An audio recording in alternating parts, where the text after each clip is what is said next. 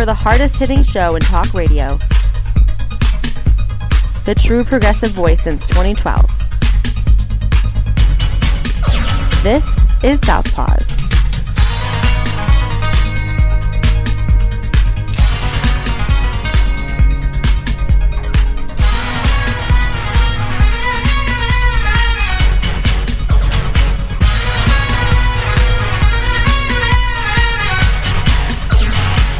And welcome to Southpaws on the Pacifica Radio Network. We are the leaders of the revolution. I'm Darren Gibson, your host today. We have a couple of polls to talk about. Harris more popular than Trump among Asian American, Native American, and Pacific Islander registered voters. So that's good news there. We have the vice presidential debate to talk about.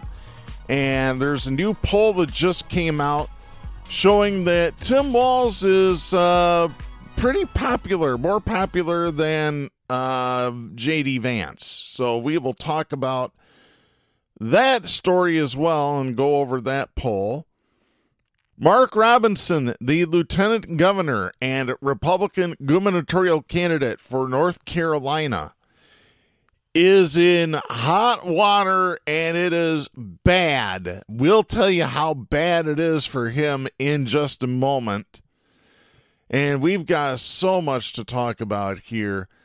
Uh, West Virginia's governor, uh, they have a business. They are apparently behind on payments to the employees' health insurance fund by a couple million dollars. And that, that's what the union claims. And I believe the union before I believe a lying Republican. So there you go. Plus, we got to talk about the latest in Ottawa County, Michigan and Ottawa Impact. Before we get started with today's topics, a couple of reminders you can follow us on social media by going to facebook.com forward slash Southpaws Radio Show. You can follow us on X at Southpaws Radio. You can follow us on Tumblr at southpawsradioshow.tumblr.com. You can follow us on YouTube and Mastodon by doing a search for Southpaws Radio. And you can become a patron of the show by going to patreon.com forward slash Southpaws Radio. You can listen to the show anytime at Apple Podcasts, Spreaker, Podcast Addict, Podbean, and Pandora by doing a search for Southpaws. Once you found our logo, you found us. We send links to our weekly episodes to our Facebook, X, Tumblr, YouTube, and Mastodon accounts. You can listen to us on Global Community Radio Channel 1 every Saturday night at 11 Eastern. And you can listen to us on Great Pacifica stations, including KCEI in Taos, New Mexico. Be sure to listen to us there on your local Pacifica affiliate. And if your local Pacifica affiliate is not carrying us, give them a call and ask them to please pick up Southpaws. We would greatly appreciate that. We are recording this show on Thursday, September 26, 2024. We're going to focus a lot on the upcoming election here. Let's get to our first story. This is Josh Boak, Zeke Miller, and Steve Peoples writing for the Associated Press. This is dated September 25th out of Pittsburgh. Derided by Donald Trump as a communist, Kamala Harris is playing up her street cred as a capitalist. Attacked by Harris as a rich kid who got $400 million from his father on a silver platter, Trump is leaning into his raw populism. The two presidential candidates had dueling speeches Wednesday that reflect how they're honing their economic messages for voters in battleground states. Both are trying to counter criticism of them while laying out their best case for a public that still worries about the economy's health. Economy's doing fine. If Donald Trump tells you that the economy is doing poorly, he's lying to you, just like he always has. Vice President Harris uh, was set to speak at the Economic Club of Pittsburgh, where she plans to stress a pragmatic philosophy while outlining new policies to boost domestic manufacturing. And that is according to a senior campaign official who sought anonymity to describe the upcoming address. The Democratic nominee's remarks come after she told a swanky audience of donors in New York City on Sunday that she would cut any red tape holding back growth. Donald Trump delivered a speech in Mint Hill, North Carolina, in which he claimed the economy was weak despite inflation easing and the unemployment rate at a healthy 4.2%. Again, the Associated Press refers to Donald Trump as former president. We don't do that on this show. Uh, the Republican nominee made his reputation as a businessman a very poor one at that. Just look at his Truth Social stock over the last few months.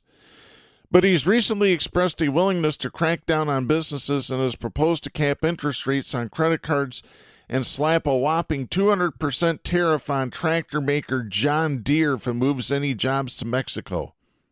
You know who's going to pay that tariff? It ain't going to be John Deere. It ain't going to be Mexico. It's going to be you, the consumer. Guaranteed. Trump doesn't tell you that. So it's going to be a 200% tax on your John Deere equipment. Oh my God. It's really easy to figure out, folks. It really is. You just got to stop listening to Donald Trump. It gets easy to listen to what the truth is after that. The candidates are each emphasizing the economy at a time when polls show that it is one of the most important issues for voters as they consider who to support. A recent AP NORC poll found that neither candidate has a decisive edge with the public on the issue. Both are eager to embrace an image as tax cutters and are accusing the other of backing massive tax hikes on the middle class. It's a meaningful shift in messaging as inflation concerns have ebbed somewhat with the Federal Reserve cutting its benchmark interest rates last week. In a speech that includes insinuations that Iran was tied to the two assassination attempts against him, Trump defended tariffs to a group of furniture makers as a way to protect their jobs. Trump said, quote, if I didn't do what I did, this building would now be shuttered, closed, empty, no jobs. End of quote. Really? Yeah.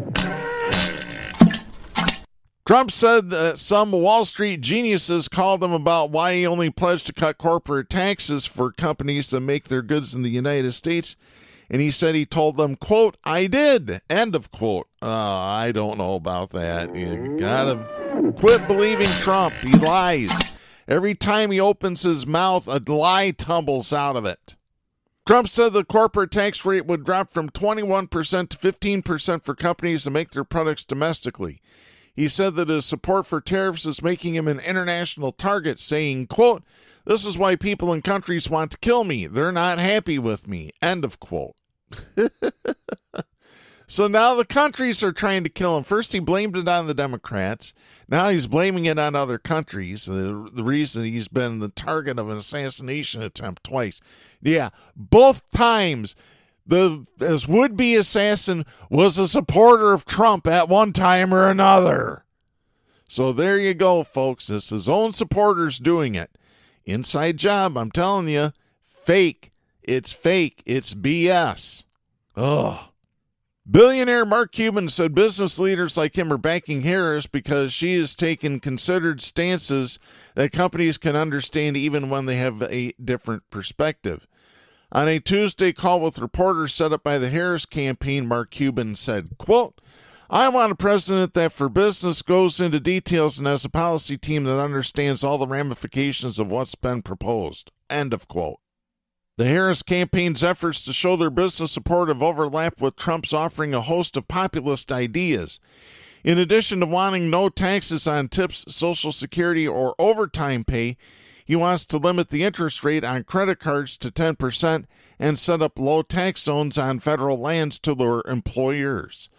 Trump also wants to ditch the cap on the deduction of state and local taxes that he put into the tax code in 2017 while president. He did that himself, folks. Now he's like, oh, I want to reverse that.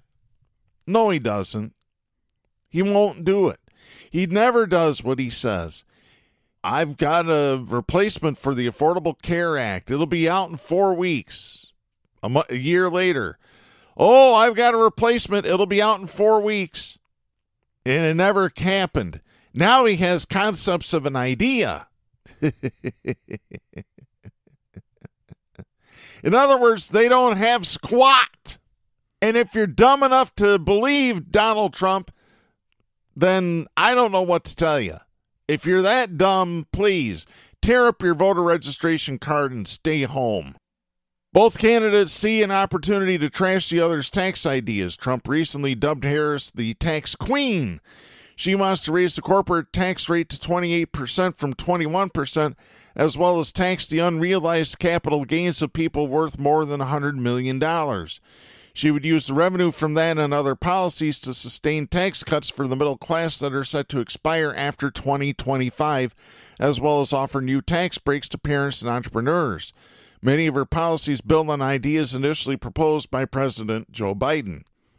Trump claims her tax hikes would ultimately trickle down to the middle class. Gee, where have we heard trickle down before? Ronald Reagan.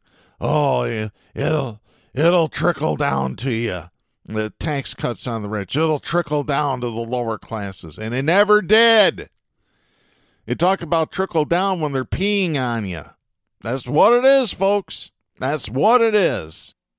Trump told an audience on Monday, quote, she's coming for your money, she's coming for your pensions, and she's coming for your savings. End of quote. No, that's an admission by Trump that he's coming for your pensions and savings and your money. He is, not Harris. Trump is. Period. End of story. Harris has shown the two can play that game. She labeled his call for tariffs a national sales tax as it could increase the cost of coffee, clothes, electronics, autos, and almost anything that gets imported or depends on imported parts. Her campaign likes to cite an analysis that originated with Brendan Duke of the Center for American Progress that estimated a 20% universal tariff would, cro- would cost a typical family almost $4,000 a year more than what they're paying now. For taxpayers in the middle income range, that sum would effectively increase their total federal taxes by 50%. That is according to calculations based on Treasury Department data. Speaking in Georgia on Tuesday, Trump singled out the word tariff for praise, calling it, quote, one of the most beautiful words I've ever heard. End of quote. Yeah. He said it would raise hundreds of billions in tax revenues and not cause inflation. Well, we know that's not the truth. Most economic analyses said broad tariffs would worsen inflation. The investment bank Goldman Sachs suggested that the tariffs accompanied by a crackdown on immigrants in the United States would hurt growth. Harris has made efforts to elevate the middle class her top priority, often talking about her own background in the middle class to suggest that her ideas emerged out of a personal journey. But at a New York City event on Sunday, she also made a pitch aimed at corporations that want less drama when dealing with government. Harris said, quote, we will create a stable business environment with consistent and transparent rules of the road. We will invest in semiconductors, clean energy, and other industries of the future.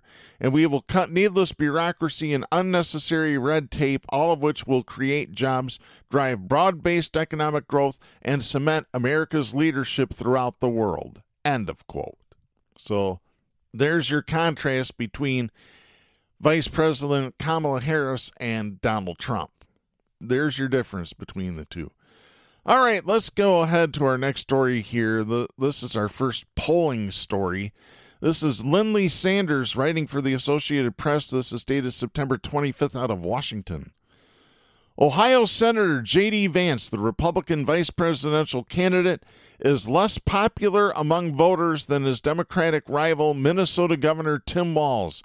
That is according to a new survey from the Associated Press NORC Center for Public Affairs Research. Both Vance and Walz entered the spotlight this summer as relative political unknowns. As both running mates prepare to address a huge audience in next week's vice presidential debate, Democrats are more positive about Walz and Vice President Kamala Harris than Republicans are about Vance and Donald Trump. Again, they refer to Trump as former president. Again, we don't do that here.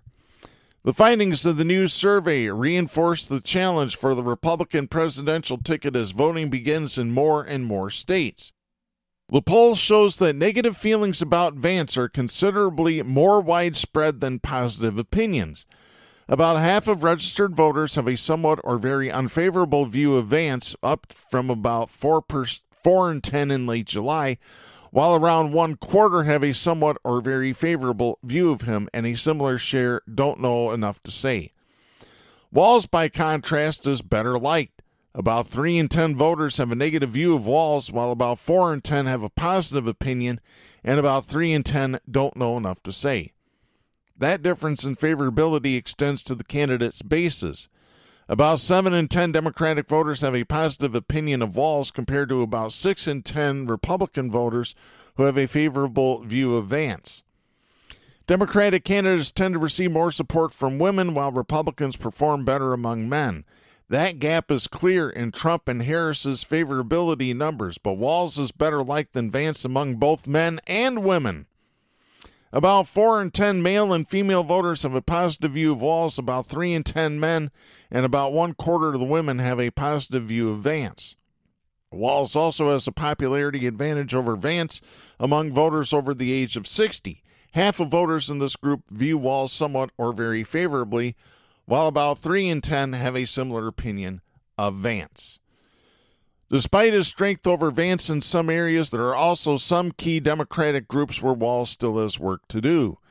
About three quarters of black adults have a very favorable view of Harris, while roughly half say the same about Walz. She is also viewed more positively by women. About three in ten women don't know enough about Walz to have an opinion. In general, though, neither of the vice presidential candidates outshine Harris or Trump among major demographic groups, and they remain less well known than the presidential nominees, even among groups that are traditionally part of each party's base.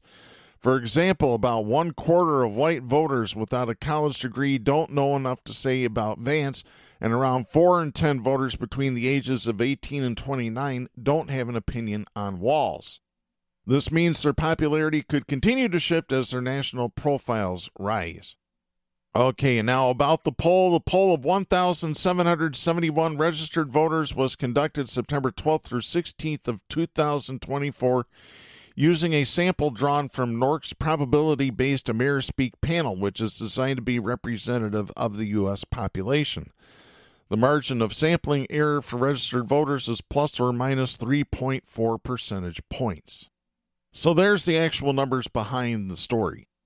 Speaking of polling, let's get to our next story. This is Terry Tang and Lin- Linley Sanders writing for the Associated Press. This is dated September 24th out of Washington.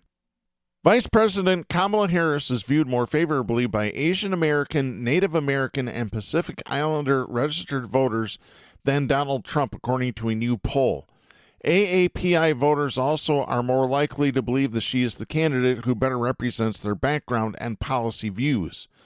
The new survey from AAPI Data and APIA Vote finds that around 6 in 10 AAPI voters have a very or somewhat favorable opinion of Harris, while about one third have a somewhat or very unfavorable view. In comparison, three out of 10 AAPI voters have a positive view of Trump, and about two thirds view him negatively. So, yeah, one third and two thirds. There you go. That's an increase in favorability for Harris since October 2023 when an AP NORC AAPI data poll found that about half of AAPI adults had a somewhat or very favorable view of her. Opinions of Trump among this group have remained stable. Harris is both black and South Asian American and has worked to rally AAPI voters in swing states like Georgia, where their numbers are growing. But while the poll indicates that AAPI voters are much more likely to see their own cultural identity reflected in her than in Trump, about half of AAPI voters say Harris better represents their background and culture, while only about 1 in 10 say this about Trump. It's not clear how much this is influencing their perspectives on the candidates. Only about 3 in 10 AAPI voters say that Harris's Asian Asian Indian identity is extremely or very important to them, although some AAPI Americans may be more connected to her background than others. About 7 in 10 Asian Indian adults see Harris as the candidate who better represents their background and culture, which is higher than AAPI adults overall. Ping Hackle, a 27 year old Chinese American independent in Tulsa, Oklahoma, is planning to vote for Harris, but not because of the Democratic candidate's race or gender. Hackle said, quote, I don't really care. She can be anybody. End of quote. Hackle says she worries about the preservation of dem- democracy and divisiveness that could lead to political violence. Thus, she feels Trump, quote, is very dangerous to the country. Yep, I agree there. In fact, the poll indicates that Harris's gender may be more salient to AAPI voters than her racial background. While the Harris campaign has avoided emphasizing that she could be the first female president, about half of AAPI women voters say her identity as a woman is extremely or very important to them. AAPI women are also more likely than AAPI men to say their ba- own background as Asian or Asian American is at least very important to how they think of themselves, and they're also more likely to say this about their identity as a person of color. And younger AAPI voters between the ages of 18 and 34 are especially likely to care about Harris's identity as a woman. Christine Chen, executive director of APIA Vote, said, quote, We've seen so much organizing from young people as well as AAPI women who are really leading the different ethnic specific affinity groups like the South Asians for Women, South Asians for Harris, Korean Americans for Harris, Chinese Americans for Harris. End of quote. And the survey suggests that AAPI voters may be hearing more from Democratic organizers. About 4 in 10 AAPI voters say they have been contacted by the Democratic Party a great deal or some in the last year, while about 3 in 10 said the same about the Republican Party. Trump and Republican vice presidential nominee J.D. Vance have also recently echoed old stereotypes about Asian Americans and food by amplifying false rumors that Haitian immigrants in Springfield, Ohio are eating pets. And the poll found that the issue of racism is broadly important for this group. About 7 in 10 AAPI voters say they could not ever vote for a candidate who does not share their view on racism or discrimination, making it a bigger deal breaker issue than the economy. Not all AAPI voters have a negative view of Trump, though. Jihua Ma, a 45 year old naturalized citizen from China who lives in Boston, leans Republican and voted for Trump in 2020. Ma feels Trump is still the most effective leader. Ma said, quote, I recognize that he's mean and he sometimes posts mean pictures. I'm electing someone to really run this country, not someone to be a friend, a nice person. End of quote. Ma wants someone who will get inflation and the border under control, and he's unsatisfied with Harris's proposals on those issues. Ma said, quote, I don't see her policy has a solid platform, end of quote. He added that he couldn't think of any accomplishments Harris has made as vice president or as a senator from California. And it's still possible that Trump can make inroads with AAPI voters, although the gap in popularity between the candidates leaves a lot of ground to make up. Karthick Ramakrishnan, founder and executive director of AAPI Data, said, quote, an issue where the Republican Party could chip away AAPI support is on the economy and on crime. And I think this is where you know Harris has tried to blunt some of those critiques by offering some proposals. End of quote. So there's a look at what uh, Asian Americans and uh, Pacific Islanders believe about Harris and Trump. All right, let's get into our next story here. This is Meg Kinnard writing for the Associated Press. This is dated September 23rd. Donald Trump confirmed Monday that he would be the sole featured speaker at this year's Al Smith Charity Dinner in New York, typically a good humored and bipartisan political event that Vice President Kamala Harris said she is skipping in favor of battleground state campaigning.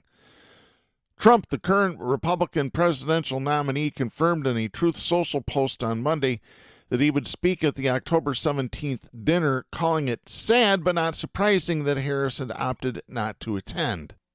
The gala benefiting Catholic charities traditionally has been used to promote collegiality, with presidential candidates from both parties appearing on the same night and trading barbs. But on Saturday, Harris's campaign said the Democratic nominee would not go to the event, breaking with presidential pr- tradition, so she could campaign instead in a battleground state less than three weeks before Election Day. Harris's team wants her to spend as much time as possible in the battleground states that will decide the election rather than in heavily Democratic New York, a campaign official said, speaking on the condition of anonymity to discuss campaign plans and confirming a decision first reported by CNN. Her team told organizers that she would be willing to attend as president if she's elected, the official said. Cardinal Timothy Dolan, who plays a prominent role in the dinner, has been highly critical of Democrats, writing a 2018 Wall Street Journal op ed that carried the headline, The Democrats Abandon Catholics. In his Truth Social post, Trump said Harris, quote, certainly hasn't been very nice, end of quote, to Catholics, saying that Catholic voters who support her, quote, should have their head examined, end of quote.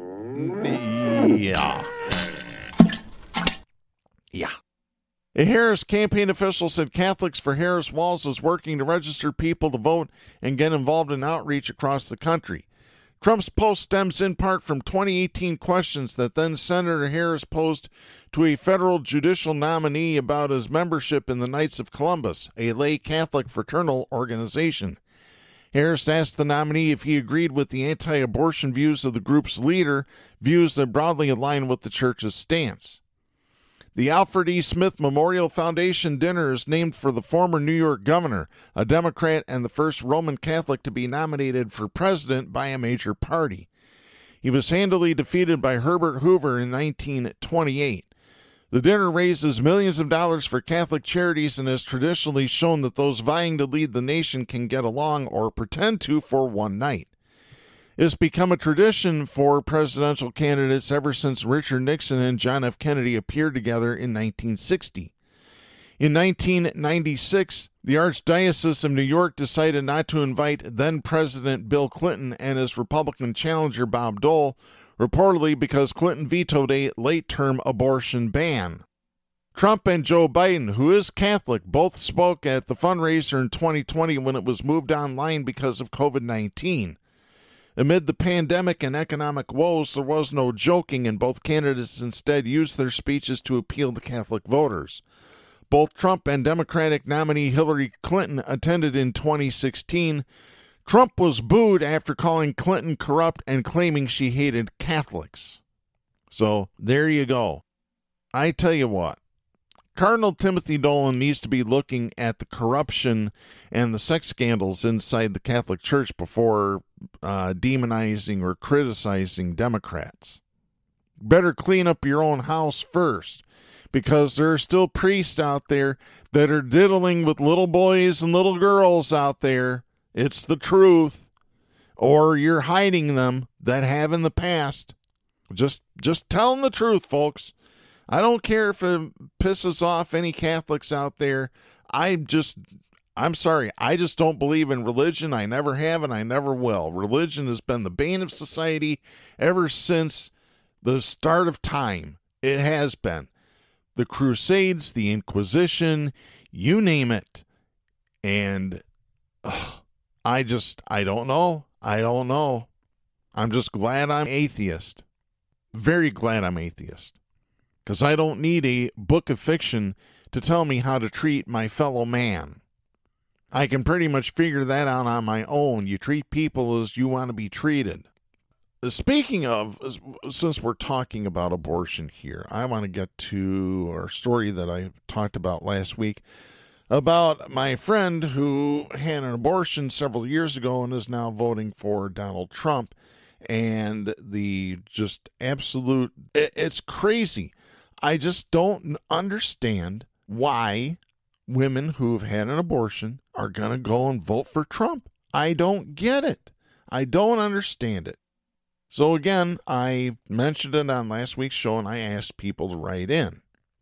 I didn't receive any emails uh, like I had hoped for, but I did receive this comment on my personal Facebook page. Uh, King Chuck, Chuck Cook, a longtime supporter of the show.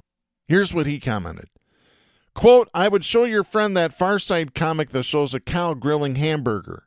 A woman voting Republican, especially one who had an abortion, is the equivalent. So there you go. It's the equivalent. and I've seen that cartoon before, that cartoon from the far side. It's a cow wearing a chef's hat, barbecuing hamburgers, and two other cows point and say, You're sick, Jesse. Sick, sick, sick.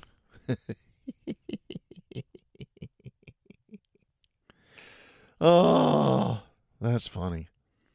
Yeah. That but that's what you get. That's what you get when you vote Trump. It's unreal. It's absolutely unreal, folks. All right, let's get into our next story here. Labor battle going on with uh, Boeing and its striking machinists.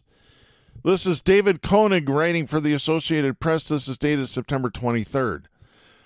Boeing said Monday it made its best and final offer to striking machinists that includes bigger raises and larger bonuses, but the workers' union said the proposal isn't good enough and there won't be a ratification vote before Boeing's deadline at the end of the week. Leaders of the International Association of Machinists and Aerospace Workers District 751 told members Monday night, quote, Boeing does not get to decide when or if you vote. The company has refused to meet for further discussion. Therefore, we will not be voting, end of quote, on Friday, as Boeing insisted. Boeing said that after two days of talks last week with federal mediators failed to produce an agreement, quote, we presented a best and final offer that made significant improvements and addresses feedback from the union and our employees, end of quote. The new offer is more generous than the one that was overwhelmingly rejected earlier this month. The company said the offer included pay raises of 30% over four years, up from 25% in the first proposal. The union originally demanded 40% over three years. The new offer and labeling it a final one demonstrates Boeing's eagerness to end the strike that began September 13th. The company introduced rolling furloughs of non unionized employees last week to cut costs during the strike. The strikers face their own financial pressure to return to work. They received their final paychecks last week and will lose company provided health insurance at the end of the month, according to Boeing. Once again, it's another reason why we need to have single payer universal health care in this country. You don't lose your health care if you go on strike. It's that simple. Bernie Sanders has it right. We need single payer universal health care now. The company said its new offers contingent on members of the Machinists Union in the Pacific Northwest ratifying the contract by late Friday night when the strike will be a little over two weeks old. The union, which represents factory workers who assemble some of the company's best selling planes, waited several hours before pushing back Monday night. The union told members, quote, This proposal does not go far enough to address your concerns, and Boeing has missed the mark with this proposal. End of quote. The group added that it will survey members about the new offer. Boeing's latest offer includes upfront pay raises of 12% plus three annual raises of 6% each. It would double the size of ratification bonuses to $6,000. It also would keep annual bonuses based on productivity. In the rejected contract, Boeing sought to replace those payouts with new contributions to retirement accounts. Boeing said average annual pay for machinists would rise from $75,608 now to $111,155 at the end of the four year contract. The new offer would not restore a traditional pension plan that Boeing eliminated about a decade ago. Striking workers cited pay and pensions as reasons why they voted 94.6% against the company's previous offer. Boeing also renewed a promise to build its next new airline plane in the Seattle area if that project starts in the next four years. That was a key provision for union leaders who recommended adoption of the original contract offer but one that seemed less persuasive to rank and file members. So, once again, union leaders are selling out the rank and file. That's what it is, folks. And rank and file have had enough. It's the same with the Teamsters. Teamsters, oh, we're not going to endorse anybody. But yet, every single local union in the state of Michigan has endorsed Vice President Kamala Harris. She's getting endorsements from Teamsters in Pennsylvania, in Minnesota, in California, across this country. And that's because rank and file workers know what side of the bread has the butter on it. The strike is likely already starting to reduce Boeing's ability to generate cash. The company gets much of its cash when it delivers new planes, but the strike has shut down production of 737s, 777s, and 767s. Work on 787s continues with non union workers in South Carolina. Of course, because there's scabs down there. A lot of scabs. South Carolina don't believe in the right to unionize because they're a bunch of hillbilly rednecks. They still believe the Confederacy is alive and well. They'd like to have slaves again. You heard North Carolina's lieutenant governor, the one that's running for governor, Oh, I'm, I'd have slaves. I'd have slaves if it was me. Black Nazi, my ass. we'll talk about Mark Robinson in actually just a little bit here. On Friday, Boeing began requiring thousands of managers and non union employees to take one week off without pay every four weeks under the temporary rolling furloughs. It also has announced a hiring freeze, reduced business travel, and decreased spending on suppliers. The money saving measures are expected to last as long as the strike continues, which hopefully will continue until the machinists get 40% and get their pensions back. Hey, now's the time to fight. It's time to fight right now for your rights, to fight for good union wages, good pensions, good insurance, better working conditions. Now's the time to fight. It's time to do it now. There's no better time than now. All right, I want to get to our next story here. This is the Associated Press writing out of Wilkesboro, North Carolina. This is dated September 23rd. Listen to this, folks this crazy stuff has come out about North Carolina Republican gubernatorial candidate Mark Robinson. Listen to this. Robinson vowed Monday to rebuild his campaign staff after several top aides quit and a key Republican group backed away from his race following a CNN report alleging he made explicit racial and sexual posts years ago on a pornography website's message board. Yep, and apparently he likes trans porn, transgender porn. Yeah. Robinson, these, and, and this is a guy that's anti LGBTQ and he likes transgender porn. Uh, typical Republican, atypical Republican. Robinson, the sitting lieutenant governor, revealed Sunday that his campaign senior advisor, campaign manager, and two other top staffers had stepped down. The senior advisor said separately that four other top aides had also quit. And the Republican Governors Association anticipated to keep running ads to boost Robinson's bid into the fall and oppose Democratic rival Josh Stein will no longer support Robinson, Association Chair and Tennessee Governor Bill Lee told reporters Monday.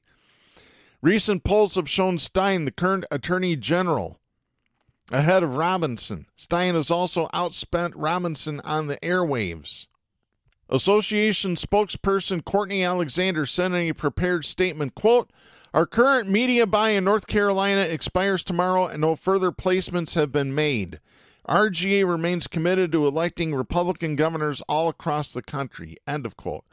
So the Republican Governors Association is ending all television and radio ads for Mark Robinson in the state of North Carolina. This has a great effect because Robinson's going to wither away, number one, because Stein's going to have all the advertising and Robinson's going to have nothing. But the other thing is, this also hurts Donald Trump because that's advertising dollars for Trump that's not being spent in the state.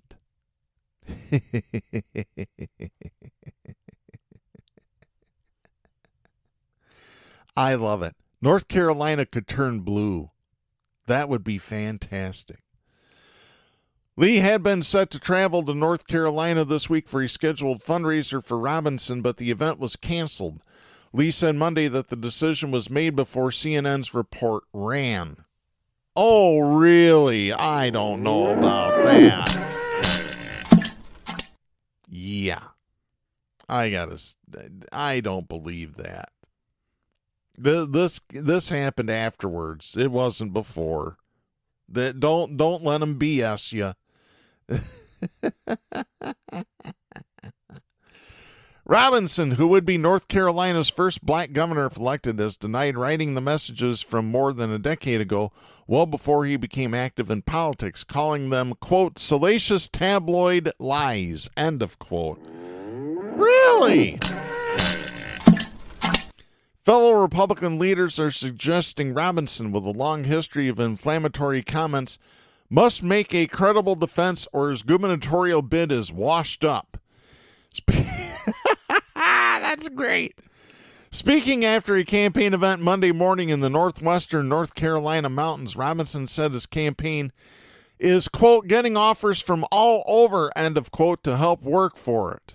Real oh my, you gotta be joking.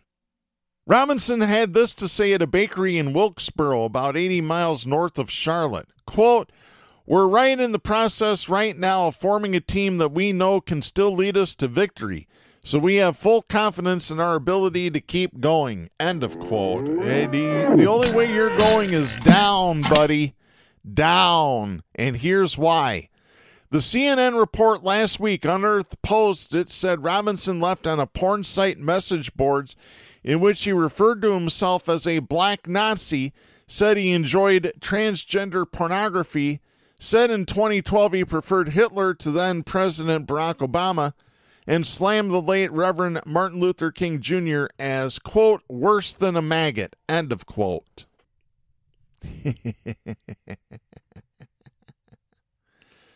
Wow, Martin Martin Luther King Jr. worse than a maggot. Really? No, you're looking at yourself in the mirror and saying that you're worse than a maggot there, Mark.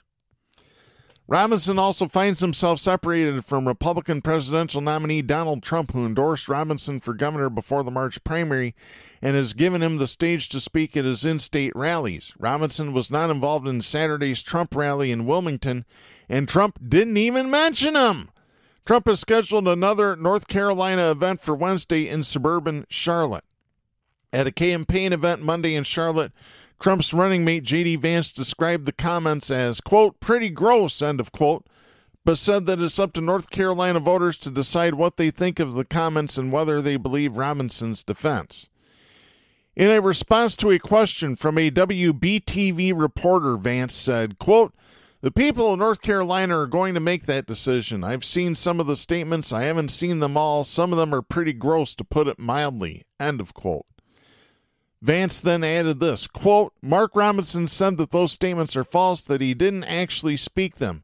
So I think it's up to Mark Robinson to make his case to the people of North Carolina that those weren't his statements, and I'm going to let him make that case. End of quote. In other words, they're going to cut Mark Robinson loose from the party and let him twist in the wind. That's what it is, folks. Trump doesn't want any of this to come back on him and soil his dirty little problems of his own. So, nope, we're going to let Mark Robinson just twist. Yeah. Talking to reporters in Wilkesboro, Robinson said his campaign is talking about taking CNN, quote, to task for what they have done to us. You better understand I am coming after CNN full throttle, end of quote. CNN provided no comment Monday. Hey, I got news for you. Truth is the best defense against libel and slander. Period. End of story. Last week, CNN said it had matched details of an account on the pornographic website forum to other online accounts held by Robinson by comparing usernames, a known email address, and his full name. CNN reported the details discussed by the account holder matched Robinson's age, length of marriage, and other biographical information. In a speech to supporters of Vernon's Cake Carousel, Robinson tried to focus on campaign issues like the economy, emphasizing public safety, public education, health care, infrastructure, and housing. He referred briefly to his working class history, saying he knows what it's like to lose a job because the work is being moved to Mexico. Robinson was elected lieutenant governor in his first bid for public office in 2020. He tells a life story that includes childhood poverty, personal bankruptcy, and religious renewal. Considered a rising star in the party, he has been well known for his fiery speeches and evocative rhetoric. Trump had previously called Robinson, quote, Martin Luther King on steroids, end of quote, for his speaking ability. Yeah, he's he, Mark Robinson's on something. I don't know what. I don't think he's on the juice. He's just on the food because he's a big man. I mean, very big. I'm a big man, and I've lost quite a bit of it, thankfully. Stein and his allies have blitzed TV and the internet with commercials and footage of Robinson making incendiary comments. In a 2021 speech in a church, Robinson used the word filth when discussing gay and transgender people. On a Facebook post in 2019, Robinson said abortion in America is about, quote, killing the child because you weren't responsible enough to keep your skirt down or your pants up and not get pregnant by your own choice because you felt like getting your groove thing on. End of quote. Jesus Christ. Shake your groove thing, shake your groove thing. Oh, Pe- Sorry, uh, all apologies to Peaches and Herb. Very much so. Get your groove thing on. Oh, brother. All right, we got another story here. This is another uh, Republican gone bad. Uh, this is the Associated Press. This is out of Charleston, West Virginia, dated September 24th. A West Virginia state lawmaker who was arrested last month is facing new charges after police say they suspect he was driving under the influence. Police pulled 56 year old Republican Senator Mike Maroney over on Monday for several alleged traffic offenses. That is according to a published report by the Wheeling News Register. Following a roadside investigation, Maroney was arrested on suspicion of driving under the influence. That is according to McMechen Police Chief Robert Schilling. Maroney was cooperative with police and was taken to jail pending arraignment, Schilling said. He is charged with three misdemeanors control of a vehicle under the influence, no registration, and expired registration. Maroney, who has served in the state Senate since 2016, did not immediately respond to an email seeking comment Tuesday. Maroney has only a few months left to serve in his second four year term as a state senator. He ran for re election but was defeated in the May primary by challenger Chris Rose, a utility company electrician and former coal miner. Maroney's loss came after he publicly opposed a bill pushed by the Republican caucus that would have loosened vaccination requirements for some non traditional public school students. He also spoke against a total ban on medical interventions such as puberty blockers and hormone therapy for transgender adolescents. Oh, so the, that's why the Republicans have bailed on him. They probably sent him up for this too. Who knows? Or I don't know. I guess if I was a Republican, I guess I'd be drinking too. In August, Maroney was. I'm sorry. I that was that was cruel even for me, and I'm pretty cruel to Republicans. In August, Maroney was stripped of his position as chair of the state Senate Health and Human Resources Committee after being charged with indecent exposure and disorderly conduct. Wow, he's really gone off the deep end, allegedly. Maroney was arrested on the two misdemeanor charges after an August 4th episode at Gumby Cigarette and Beer World in Glendale. Gumby Cigarette and Beer World. Oh my God. Oh. Oh, what's that place that Jim Gerner and I used to go to to get uh, Jim's booze? Uh, it was the home of 9.99 wine. Buddies. That's right. Buddies Liquor. Home of 9.99 wine. Which Jim talked about on the show. So, hey, that's a callback. It's a callback. Marshall County Prosecuting Attorney Joe Canestraro said in August that employees in monitoring surveillance video say they saw Maroney committing an act of sexual gratification around 1 p.m. in the video lottery room and called police. Maroney was the only person in the room at the time, according to Canestraro. Maroney didn't respond to a request for comment after his August arrest. wow he's got a lot of problems there. I, I guess that's what happens when you're stripped of your leadership by your own party. Speaking of Republicans in West Virginia, I have this story. This is Leah Willingham writing for the Associated Press. This is dated August 23rd out of Charleston, West Virginia.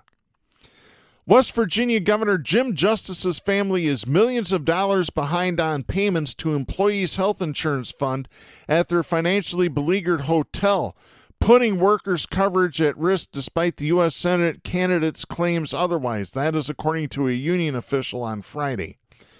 Peter Bostic, chairperson of the Council of Labor Unions at the Greenbrier, the historic resort owned by Justice's family, said, quote, the delinquencies are factual, tangible, and documented, end of quote. Justice on Thursday dismissed concerns about at least $2.4 million in delinquent payments to insurance provider during a briefing with the press, saying payments had been made on a regular basis and that there was no way employees would lose coverage. But on Friday, Bostic said the situation is in no way resolved. In his statement, he said, quote, we continue to demand that the Greenbrier's delinquent contractual obligations be met and remain hopeful that an agreement will be reached between the ANHF and the Greenbrier to continue benefits into the future. End of quote. Justice's remarks came the same day the Republicans' family announced it had reached an agreement with a credit collection company to prevent the Greenbrier Hotel, which has hosted presidents, royalty, and congressional retreats, from being foreclosed on due to unpaid debts. The Greenbrier was scheduled to go to the auction block August 27th after Beltway Capital declared a long-standing Justice Hotel loan to be in default after purchasing it in July from J.P. Morgan Chase. Bostic said on Friday that in light of the auction being canceled, the Amalgamated National Health Fund had agreed to continue offering union employees at the Greenbrier health insurance until the end of the month while they worked to come to an agreement with the justices. Earlier this week, as the auction date approached, about 400 employees at the Greenbrier Hotel received notice from an attorney for the healthcare provider, Amalgamated National Health Fund, saying they would lose on the day of the auction unless the Justice family paid $2.4 million in missing contributions. The Justice family hasn't contributed to Employees Health Fund in four months, and that an additional $1.2 million in contributions will soon be due, according to the letter the board received from Ronald Richmond, an attorney with Schulte, Roth, and Zabel LLP, the firm representing the fund. The letter also said some contributions were taken out of employees' paychecks but never transferred to the fund concerning union officials. Justice told reporters at a news briefing on Thursday that, quote, insurance payments were made and were being made on a regular basis. There is no way that the great union employees at the Greenbrier are going to go without insurance. There is no possible way. End of quote. I don't know. It's starting to look like they're going to. Justice began serving the first of his two terms as governor in 2017 after buying the Greenbrier out of bankruptcy in 2009. The 710 room hotel held a PGA Tour golf tournament from 2010 until 2019 and has welcomed NFL teams for training camp and practices. A once secret 112,000 square foot underground bunker built for Congress at the Greenbrier in case of nuclear attack during the Cold War now hosts tours. The auction, which had been set to occur at a courthouse in the small city of Lewisburg, involved 60 and a half acres, including the hotel and parking lot. The Republican said that when he purchased the Greenbrier, employee benefits had been stripped to the bone and he restored them. He said if the hotel had been foreclosed on, quote, there would have been carnage and devastation like you can't imagine to the great people of the Greenbrier, end of quote, referring to jobs that could have been lost. He added, quote, what if we absolutely just threw up our hands? What would have happened to those employees? I mean, it's great to have health insurance, but if you don't have a job, it would be pretty doggone tough, wouldn't it? End of quote. Justice is running for U.S. Senate against Democrat Glenn Elliott, a former mayor of Wheeling.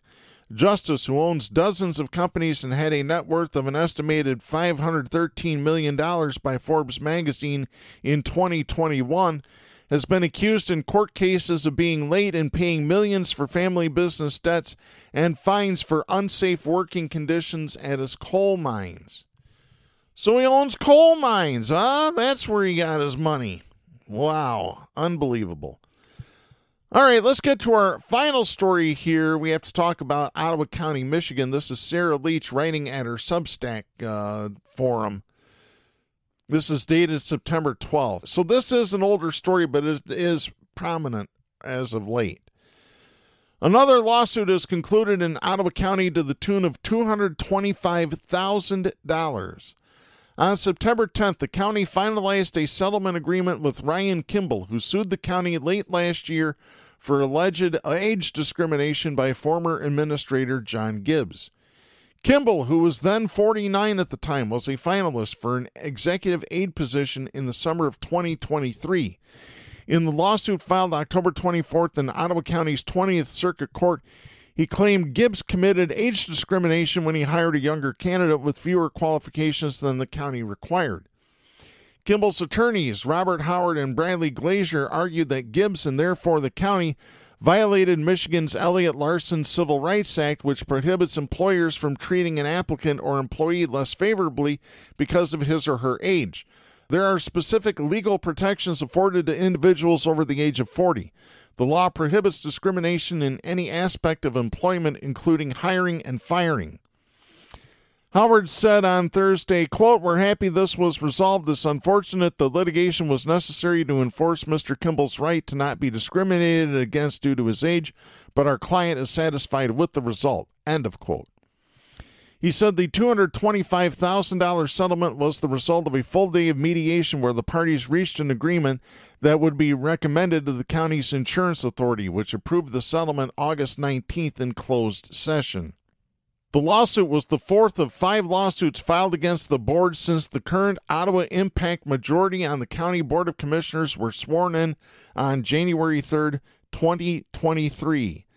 Current board chair Joe Moss founded the far right fundamentalist group in 2021 after he took issue with pre K through 6 school mask mandates during the COVID 19 pandemic. He launched the Political Action Committee under the premise of defending parental rights and to thwart tyranny within the state and federal government.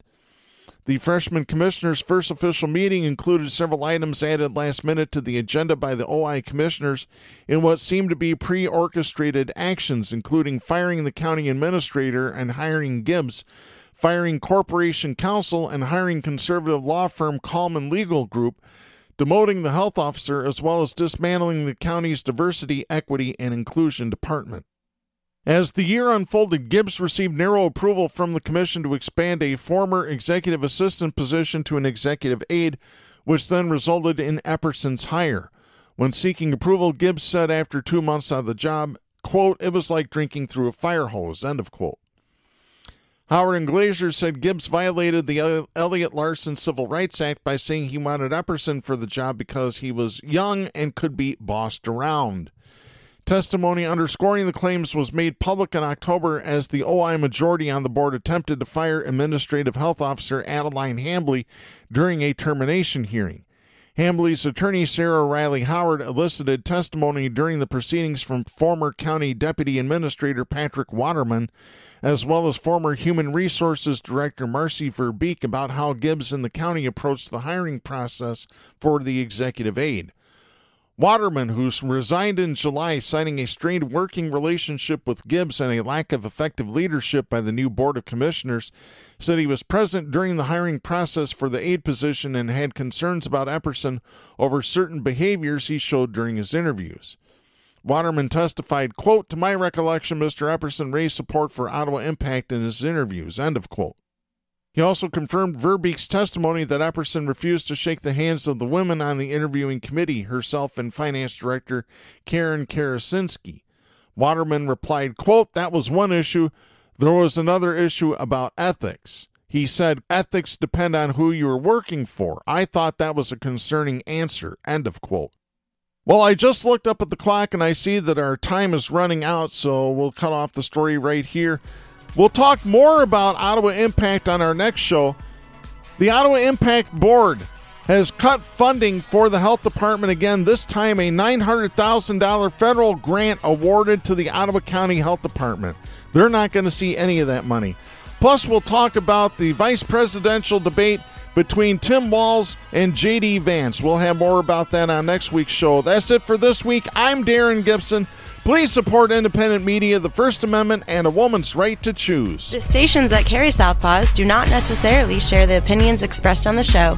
Southpaws is protected by the First Amendment to the U.S. Constitution and is copyrighted by Big D Entertainment, all rights reserved.